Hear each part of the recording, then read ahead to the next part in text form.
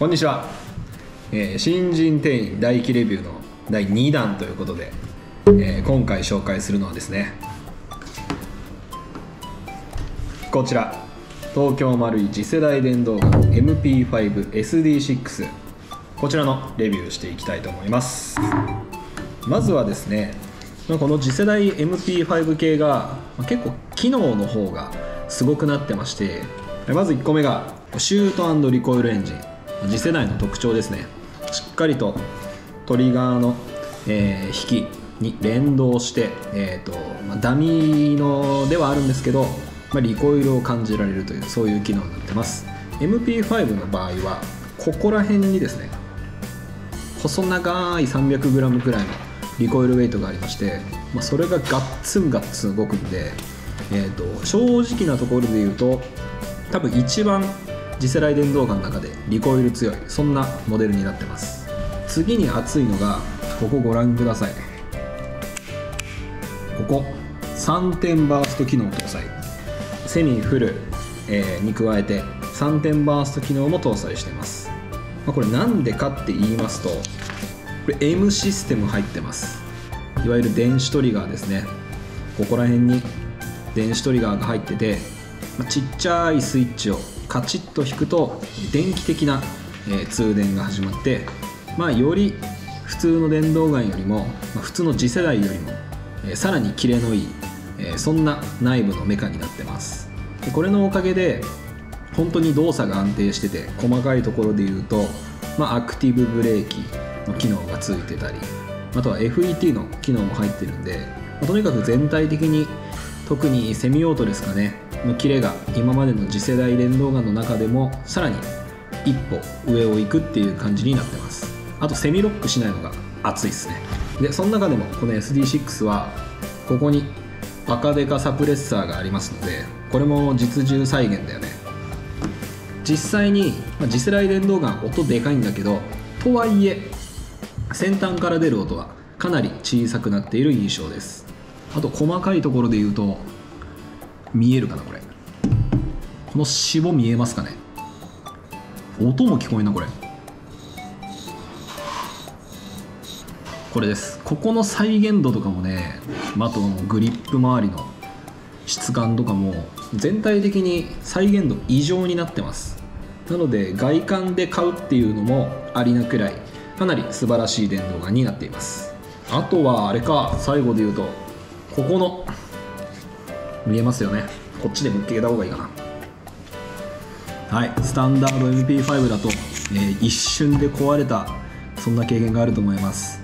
ここのコッキングハンドル周りのパーツが、ま素材が変わったりそもそもの、えー仕組みが変わったりしてめちゃめちゃタフになってます。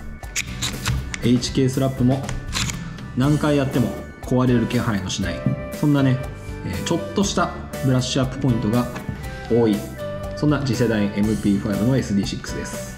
ではこの銃を早速、えー 30m シューティングレンジの方で撃っていきたいと思います。はい。はい。それじゃあ次世代 MP5SD それ言わなくていいんだって。あいや言わなくてその 前に打ってるから。これも前に。言ってるから。でもこのままもういい。はい 30m レンジで。はい 30m レンジやってまいりました。0.2g から、えー 30m レンジで打っていきたいと思います。まず弾速測りますねすでに適正ホップの弾速に設定してあります。95.4 95.6 95.9じゃああと一発撃ちます。95.2高いっすね。これ高いっす。それでは実際に 30m のターゲットに向かって撃っていきたいと思います。ちょっと GoPro なんで。大体なんですけど音とかでさせていただきたいなと思います。セミ音からいきます。おおこれいけんな。これいけます。バーストいきます。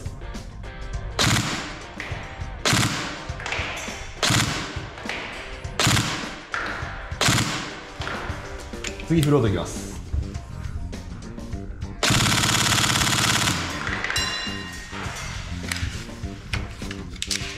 これバッチリです。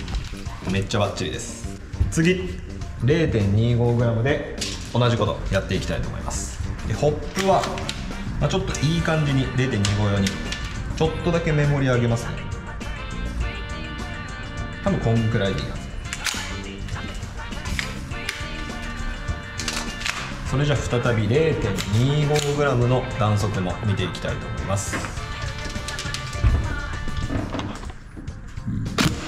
81.1 81.3 81.1 81おこちらもめちゃめちゃ安定してますね。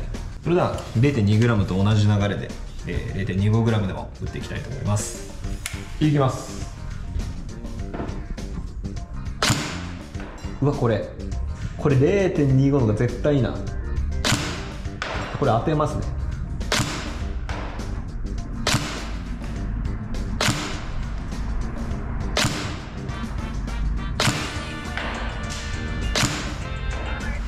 当たってないこれ当たってないですね。ちょっと今冷や汗出てきてるんですけど。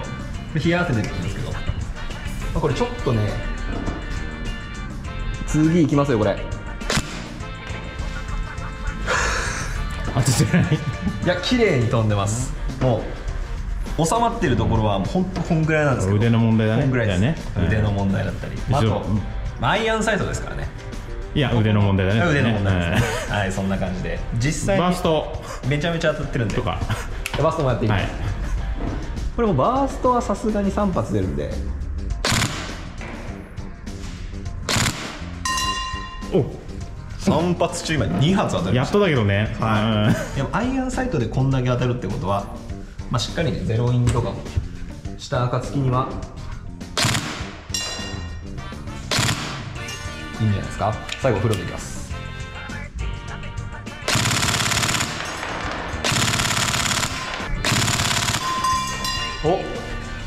止まりましたね。これで止まった。止まりました。はい。フルを通しても何も反応しないですね。すごいなこの銃。これマガジンを抜くとはい、はい。残ってないね。は0発になってます。これ次世代の特徴になってますね。自動的に、えーとまあ、ダミーではあるんですけどボルトストップがかかって、えー次の弾を装填してコッキングしないと弾が出ないようになってるって感じですはい。実際に、まあ、打ってきたその性能の、まあ、インプレッションも踏まえて、えー最終的な細かいね、えーこの銃の得点、まあ、ちょっとね得点っていうとあれなんですけども、まあ、すごい個人的なこの銃の独断と偏見で。超独断と偏見で、もう独断と偏見というかうーん、まあ、今回、えーまあ、1個前ね、えー、とパドックオリジナルバーサテイルだったんですけど、まあ、ちょっと最初見せますねこれ。ドン。こんな感じになってます。はい。これですね。合計点数69点になってていや低くね？と。思うと思うんですよ。でもちょっと待ってください。ちょっと待ってください。これには深い理由があるんで、まあ、一個一個ね。一個一個見ていきたいと思います。まずこれ全長。5 5点となってます。で全長がなんで5点かっていうと、まあ長いっちゃ長いんですよね。長いっちゃ長いです。SMG っていう、まあ、運用にしては、まあ、長いぞと。でこれがもちろんそうかっこいいんですけどかっこいいしめちゃめちゃ熱いんですけどまあまあまあここは長さ一旦5点くらいにしといてまあね。悪いわ悪いわけじゃないですよ。悪いわけじゃないんだけど、まあ、実際にこうやって伸ばして構えた時に、まあ、SMG にしてはこのサプレッサー分の長さがありますからね。これはもうサプレッサーの宿命なんですよ。なのでここは一旦5点にしよっかなという感じです、はい。その次重量バランス。重量バランスなんですけどこれは8点上げてます。でちなみに、まあまだレビューとかはしてないんですけどこれ A4 だったら多分10点か9点になってます重量バランスっていうのは、まあ、重さの実際の重さだったりそのバランスになってまして最初の、えー、と前半の方では伝えてなかったんですけど MP5 の次世代ってこれ前と後ろで金属の素材確か変えてるんですよねアッパーレシーバー。で重量バランスが良くなるようにもう最初から設計段階からセッティングされてるんで実際構えてみるとこのエアガンの重量 3180g に比べて軽く感じるんですよね。とはいえとはいえですよ皆さん。まあちょっとねフロントヘビーにはなっちゃうかなと。バッテリーもここにミニ S サイズが収納されているわけですし。って思うと、まあ、満点ではなく8点くらいかなって感じですね。その次、えー飛距離弾道集団性10点です。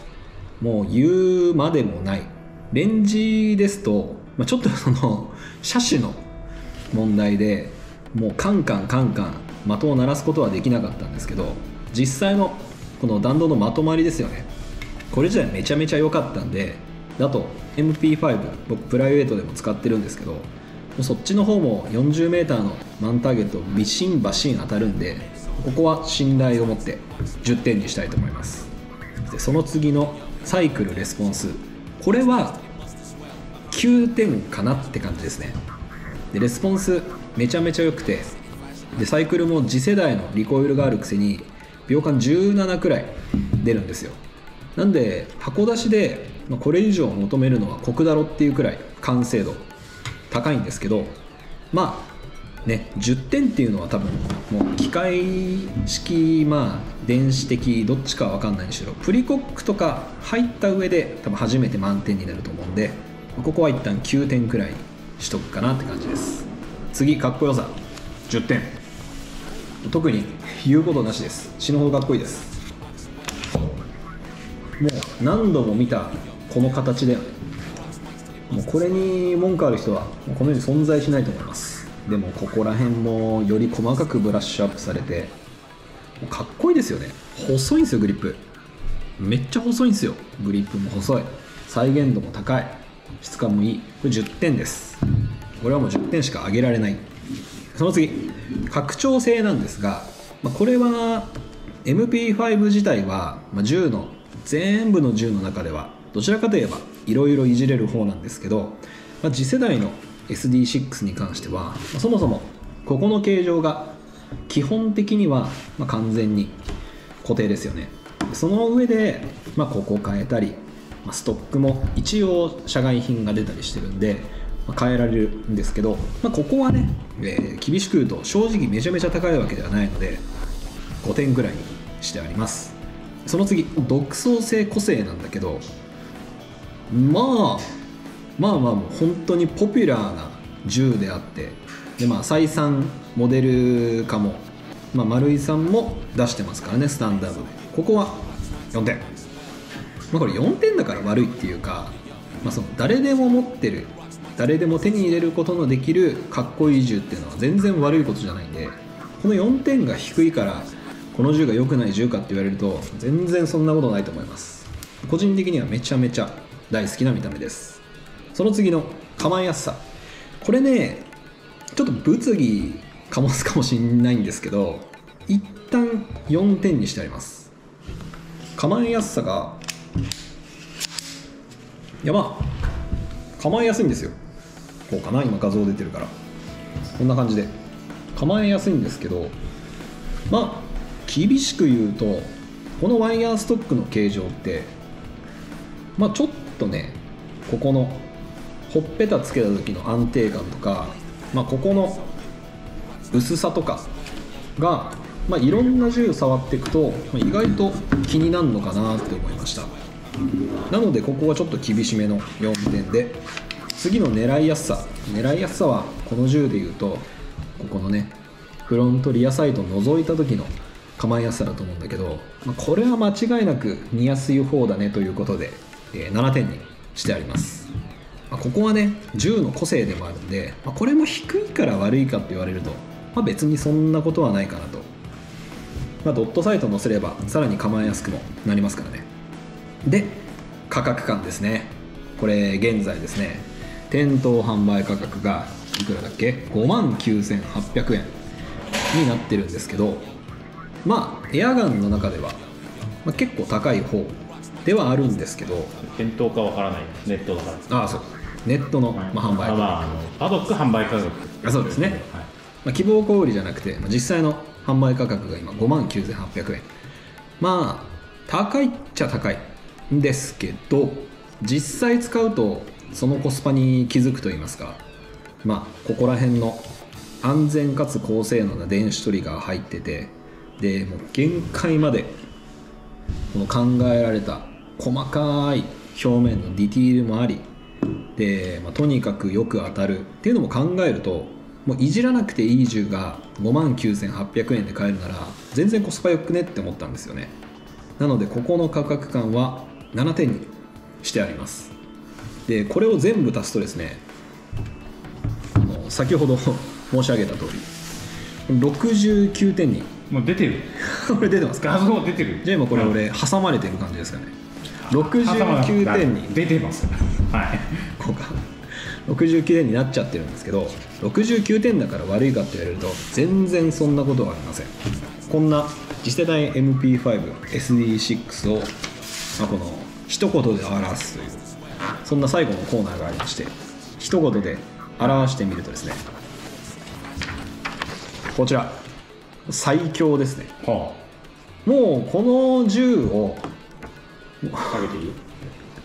これは囚人みたいになってないです。か なってないです。い大丈夫ですはい、これ最強ですでまあ通常の MP5A5 僕もサバゲーで普段から使ってるんですけど弾速も高いしよく当たるしで丸いだから壊れづらいしでバッテリースペース多いし拡張性もしっかりあるしっていう銃を探すのは多分かなり難しいですでこの銃を箱出しで超える銃、えー僕はないと思ってるんでこれはマジです。なのでこの銃を一言で表すと最強とさせていただきました、まあ使えばわかる、えー火曜日のサバゲーフィールドで僕と会ったら MP5 貸します。なのでぜひみんな試してみてください。火曜日？はい、火曜日あの僕休みでサバゲー行ってますんでぜひ会ったら値段キーと。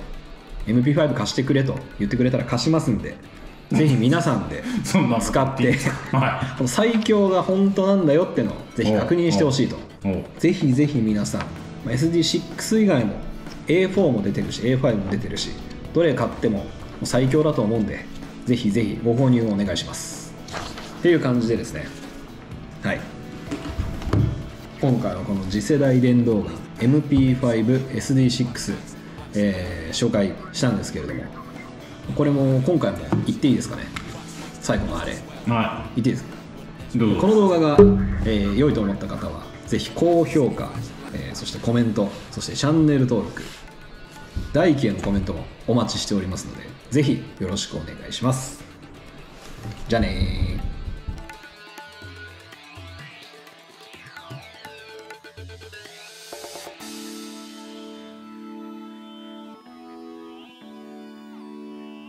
デメ裏に聞きたいコーナートークテーマ募集中です。デメちゃん裏方さんに聞いてみたい話語ってほしい話エアガンサバゲーカスタム装備品その他の悩み尋問何でも OK デメ裏が動画にてざっくばらんに答えます。投稿方法は YouTube コメント欄かホームからエントリー。皆様からのご投稿お待ちしております。